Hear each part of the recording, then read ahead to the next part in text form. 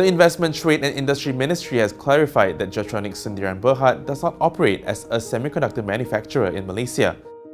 Instead, it said the company functions as a trading company engaged in the wholesale trading of semiconductor products and fabrication services.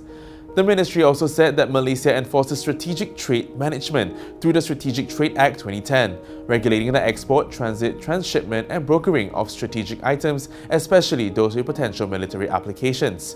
Based on records, it said Jatronics is not a registered company under STA 2010 and has not applied for export permits.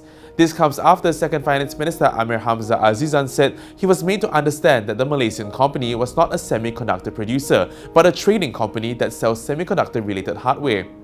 It was previously reported that the US had imposed sanctions on Jatronics for allegedly supplying crucial electronic components to Russia's military. However, MITI said the US Treasury Department's action against Jatronics was part of broader sanctions related to the Ukraine-Russian conflict, targeting entities from various countries. Sam Chua, FMT News.